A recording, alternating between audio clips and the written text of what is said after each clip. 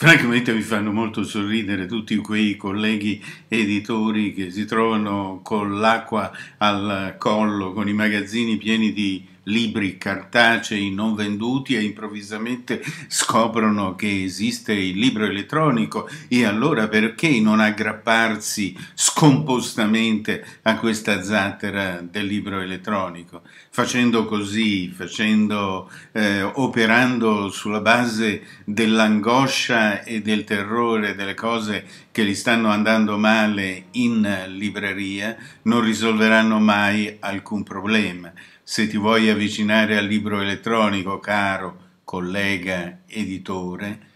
devi programmare, devi fare un progetto editoriale perché mm, che, che ne pensino tanti scioccherelli che si avvicinano al libro elettronico, il libro elettronico è un prodotto molto serio, deve essere di qualità e non deve essere qualche cosa di rabberciato perché il lettore pretende di avere dei prodotti di qualità.